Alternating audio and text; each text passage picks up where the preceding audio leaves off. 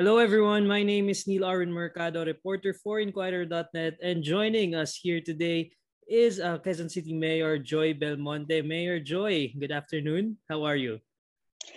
Good afternoon, Neil, and good afternoon to all of uh, the, the viewers of our program this afternoon. Thank you po sa pag-accept sa aming invitation for this interview. I know you're very busy right now, especially in Quezon City.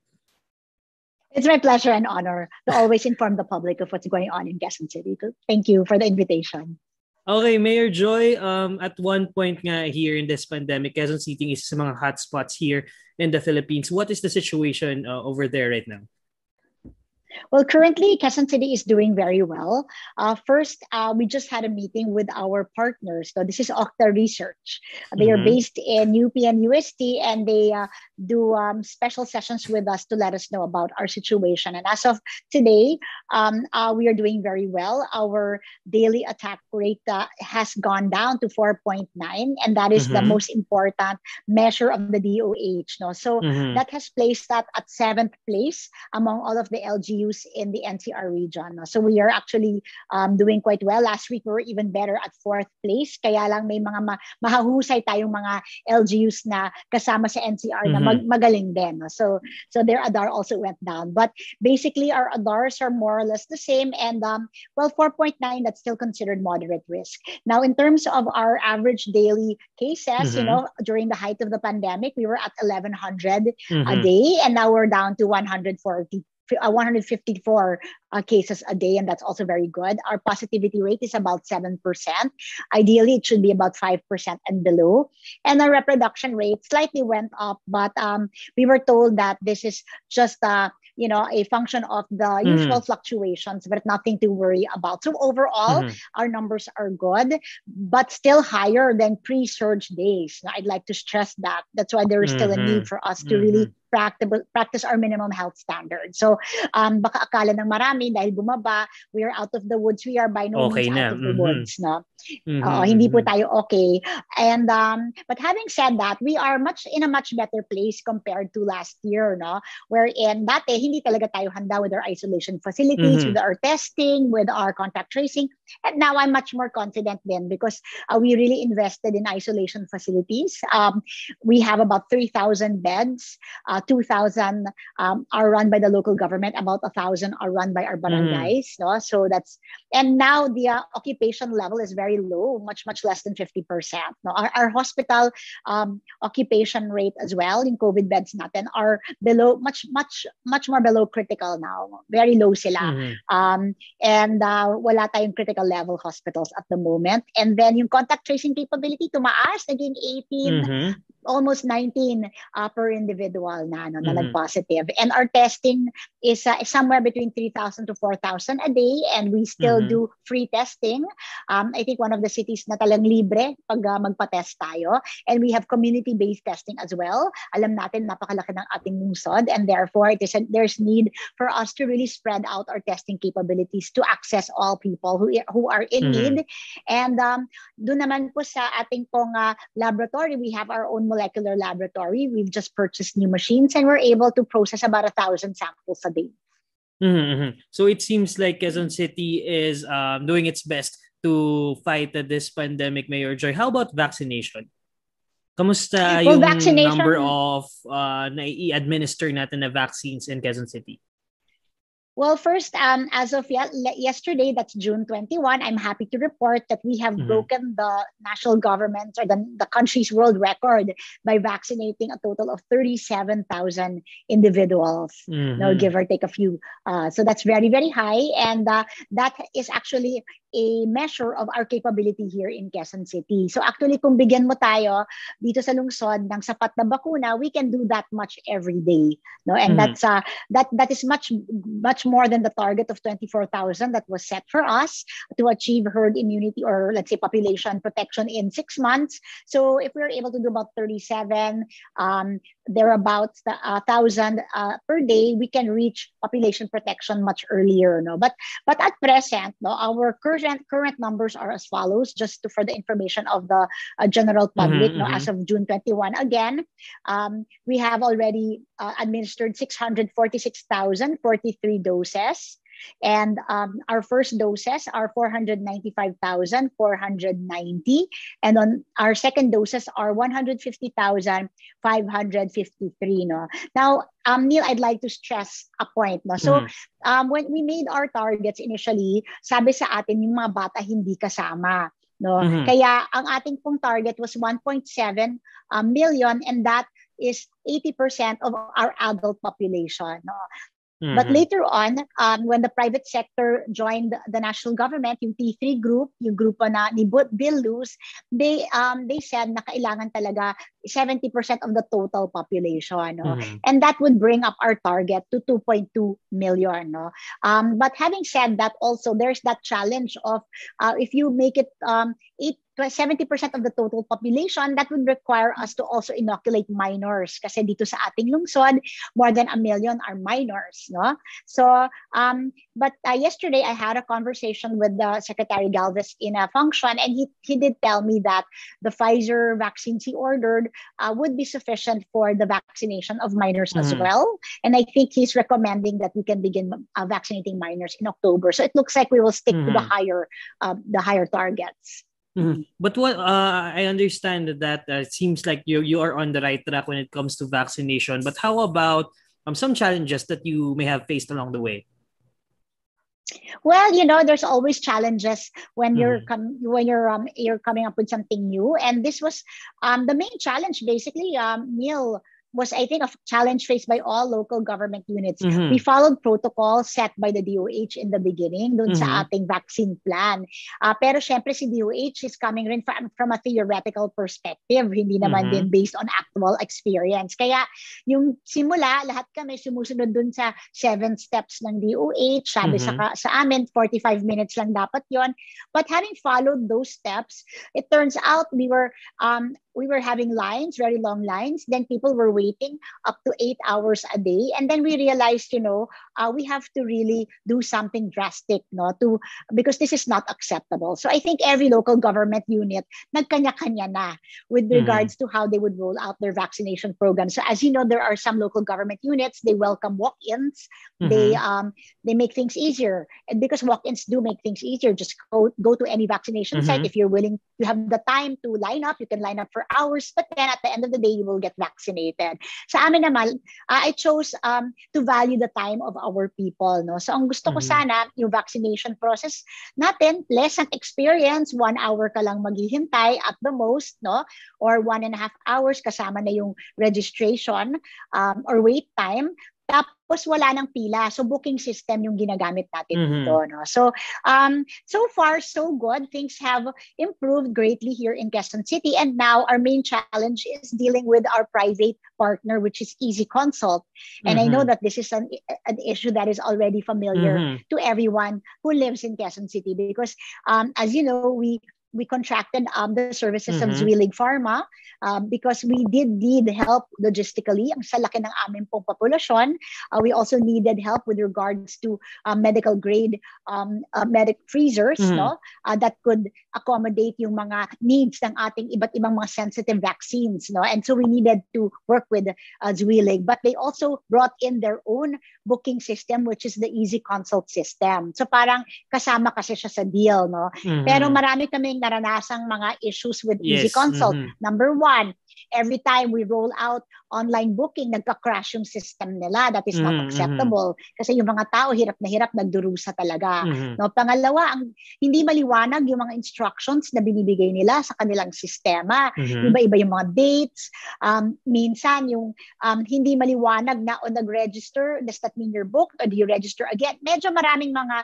details na, na, na naging confusing sa ating mm-hmm. mga mamamayan. No? And um, you know, I should have acted, my mistake, I should have acted much earlier and put my foot down dito sa Easy Consult. But lagi kasi silang nakikiusap na bigyan sila ng pangalawang pagkakataon. So mm. finally, last Friday, I gave them an ultimatum yes, already. Mm-hmm. No? Because uh, as having heard the voices of our people, having heard how difficult it has been for them, you know, and that's that pains me because I want uh, to give them the most seamless process possible. I mm-hmm. want vaccination to be something that they remember and recall in their mind as something that was pleasant for mm-hmm. them, not something na mabigat. No? So, um, nag, nagbigay po tayo ng ultimatum sa Easy Consult to fix their system. Number one is of course to increase their server capacity para pag nagsabay-sabay mm-hmm. ng mag-book at hindi po naiiwasan yan ng mga early days natin. Mm-hmm. Um, Neil, no? kasi nung early days wala naman talagang bakuna eh. Very mm-hmm. limited mm-hmm. and sporadic yung supply. So talagang pag nag-announce ka na may uh, booking ng bakuna, unahan ng mga tao, 'di ba? Hindi na iwasan. So nagka-crash talaga. Pero kailangan talaga yung server capacity mo malaki no para you can accommodate the surge of people that want to book online, no? And then second, of course, pwede bang isolve nila yung mga um, yung mga confusing um, mm-hmm. announcements sa kanilang system na nabibigay ng ng hirap din ng, ng sa, sa ating mga mamamayan they don't know what to do sometimes because iba yung datos na or iba yung announcement ni Easy Consult. Well basically uh, just as an update Easy Consult uh, said that I, they met the deadline I gave them, which was last Friday. Mm-hmm. Um, that I think that's the 19th or the 18th, and um, they said they had fixed their system. But of course, at this stage, since we don't have any online bookings yet, no, naubos na, natapos na yung Sinovac natin, yung ating para sa A-Force, mm-hmm. and now we have moved on to the um, the, to the uh, vaccines that were donated by the COVAX facility, which does mm-hmm. not include A-Force, and therefore we have done a more a targeted approach dito kasi mm-hmm, kailangan mm-hmm. kasi um, mas seniors, na yung A5s, ano, mm-hmm. uh, Oo, mas konti lang sila. Kailangan mas targeted. So we chose the barangay assisted booking for mm-hmm. this. no Pero in the meantime, um, we cannot test the easy consult uh, system until we roll out again online booking sa system nila. Mm-hmm. No? Well, so we're hoping by the by this week sana magawa natin mm-hmm. yon but um, just to finish I also decided to come out with our own organically or locally made system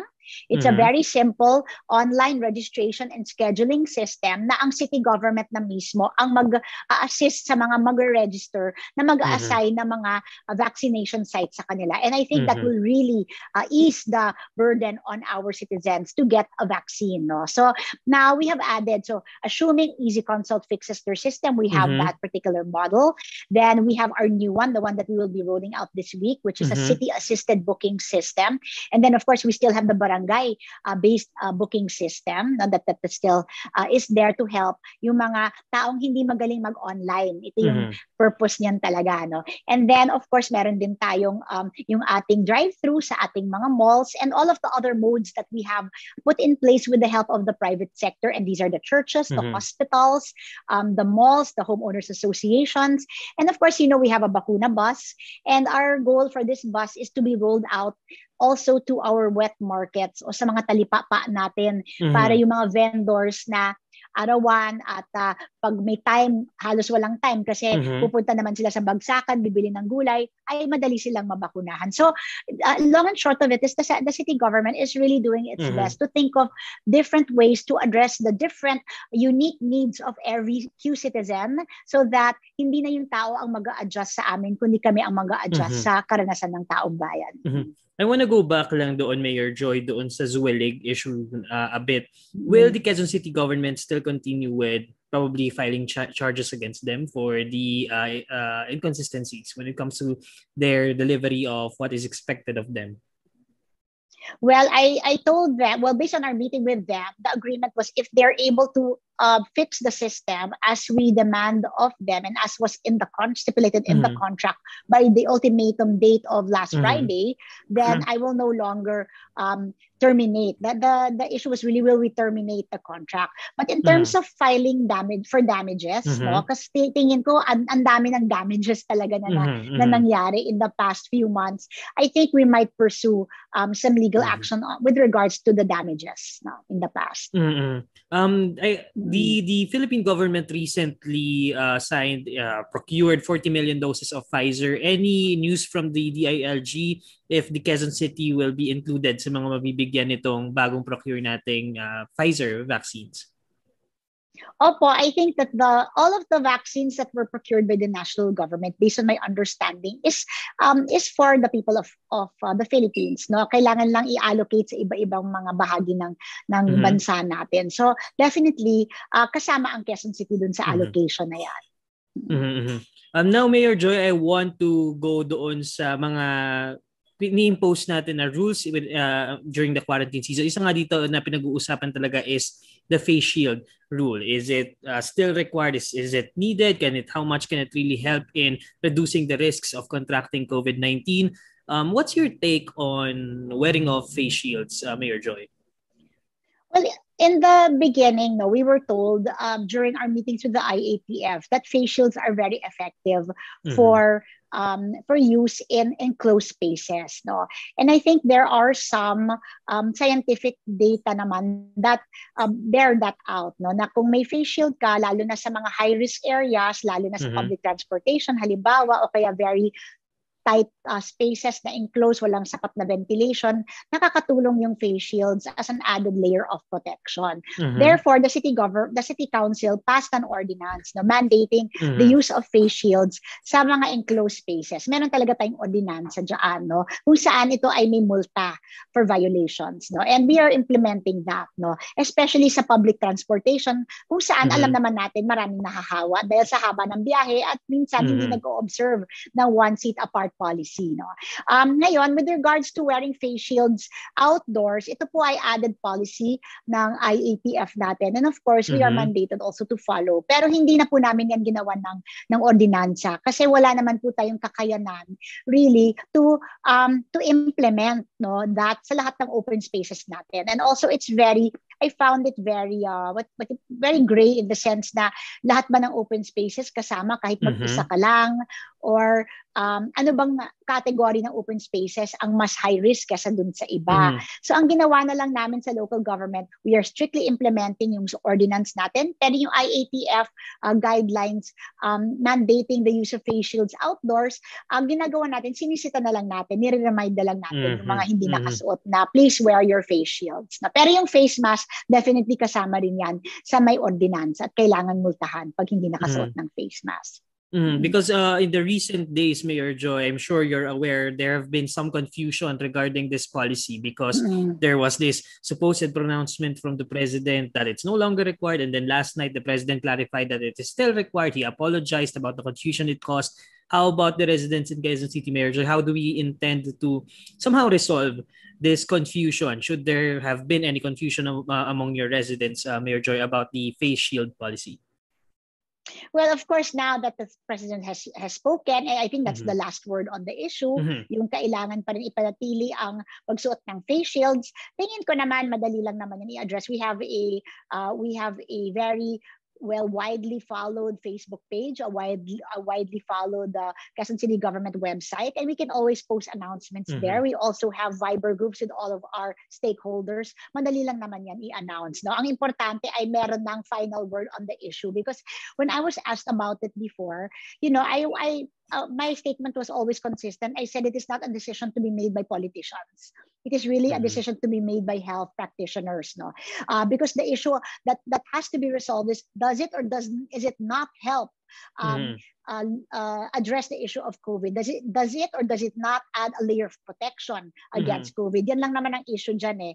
Um, kung meron mang um, konting uh, discomfort wearing a face shield, um, this is a small price to pay if it does help uh, prevent COVID. Yun ang, ang point ko. But um, when the president spoke, I read the, the press release. Uh, I didn't hear his um, verbal announcement, but mm-hmm. in the mm-hmm. press release, it said that he consulted with health professionals. And it was, in fact, the recommendation of health professionals that face shields should be worn in outdoor spaces as well. And I, I uh, will hold on to that.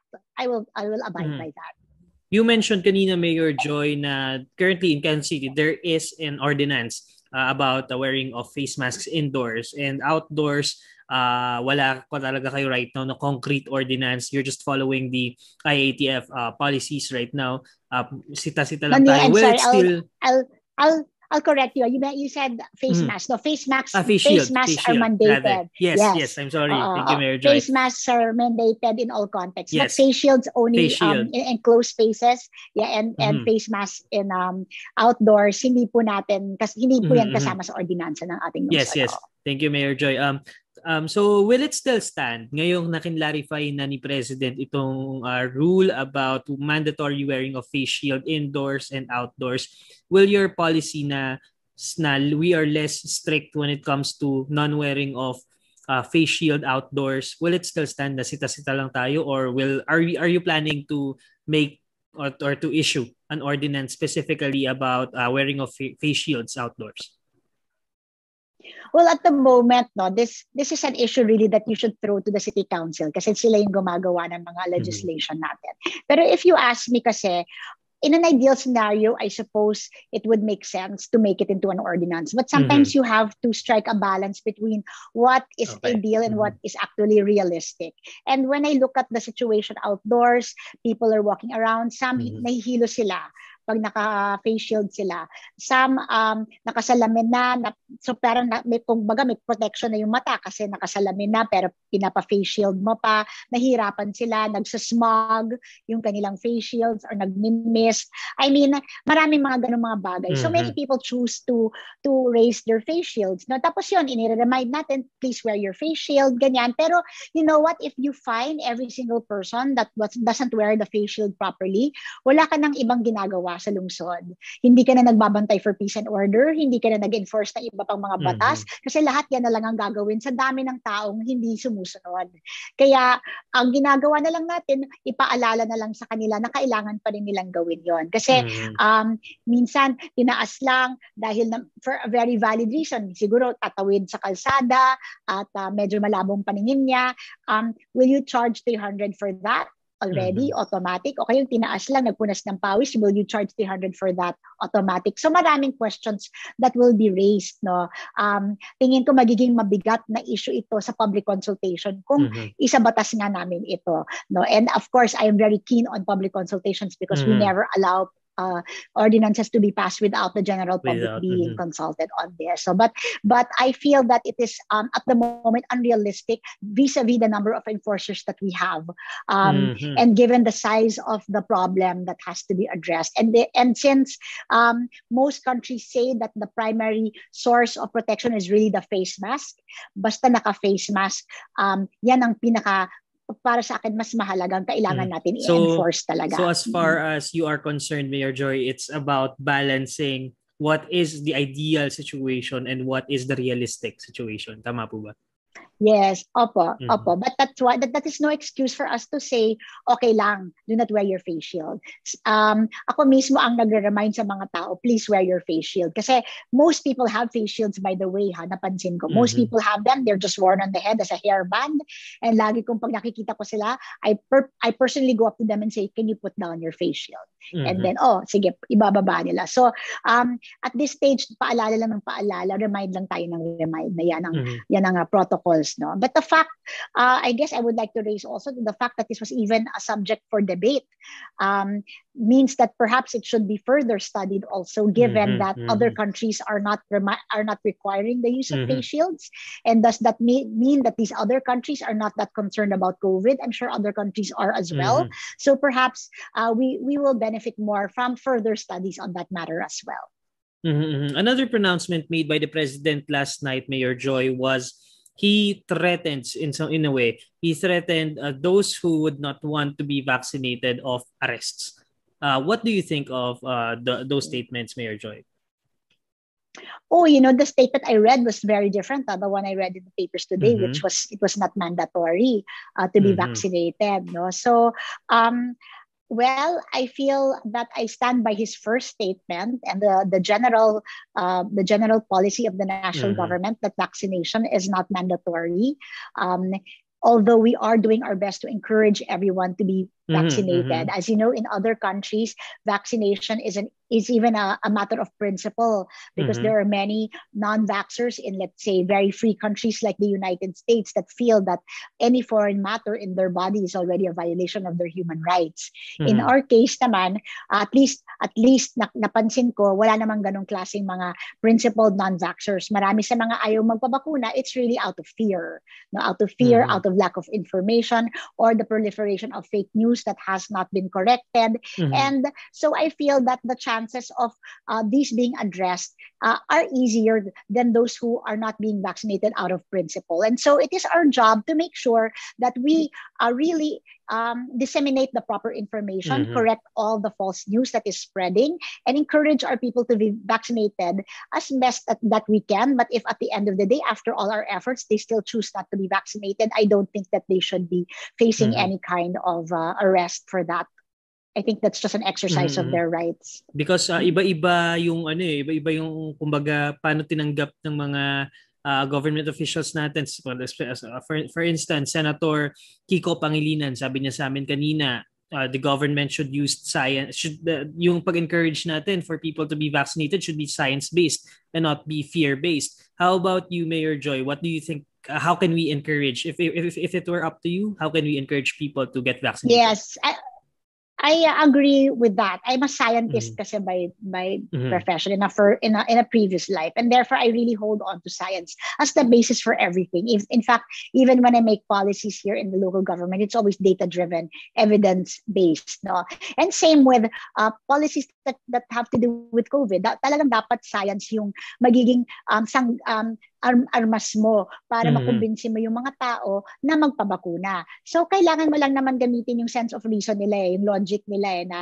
um, ano, hindi ka magpapabakuna, you're, you're gonna put yourself, your family, your loved ones at risk, you're going to isolate you're going to isolate yourself, which is the natural consequence of not being vaccinated because syempre paraya ka sa mga taong nagpabakuna o kaya sa mga tao natatakot sa iyo hindi ka bakunado. No? So there are consequences also. Mm-hmm. No? But uh, syempre ayaw mo nga na fear-based. Ayaw mo nga sabihin na halaka, uh, hindi ka nakakaibiganin ng mga friends mo, ng family mo. Kailangan mm-hmm. i-convince mo by showing them ito yung mga benefits uh, of being vaccinated. At sana, um, sana makumbinsi ka namin magpabakuna because yung perks naman nun ay maka makakasama yung mga yung mahal sa buhay mo, mayayakap mo na yung mga uh, kapamilya mo, at makakalabas ka na, etc. No? So, I agree with uh, Senator Pangilinan. It should be science-based and everything uh, should be science-based with regards to this because this is a medical problem and medicine mm-hmm. is a mm-hmm. science-based um, profession. Mm-hmm. Last topic, uh, Mayor Joy, I want to talk about 2022 elections. Isa to sa mga may inat na topics right now, Mayor Joy. What are your plans for next year? I'm, I'm just going to run for re-election. I am a first term mayor and I, I, I, still have to do a lot of things and want to do a lot of things. And mm-hmm. uh, we were sort of set back by the two year uh, pandemic. No, mm-hmm. nonetheless, we were still able to accomplish uh, quite a lot given the time that we had and given the challenges that we faced. And I feel that I want to continue what I was not able to do for this year. That that's all. That's my only plan for 2022. Mm-hmm. Ha, meron na po ba tayong naisip na who's gonna be our running mate for next year? Yes, I will be running with Vice Mayor Gian Soto, who, mm-hmm. who was my running mate in 2019. Mm-hmm, a solid team. Mm-hmm. Mm-hmm. Mayor Joy, if you ask uh, some people, kasi uh, other politicians, you will ask them, sinasabi nila, I might not, ano, medyo sketchy sila, medyo hindi sila sure about running for next year because of, we just, we're still in a pandemic and you will accept again yung responsibility and by 2022, who knows, probably the pandemic is still here, um, hopefully not, but are you ready to face the challenge of still, uh, of, of, of, of governing Quezon City during a pandemic and probably more issues that we might face in the coming years?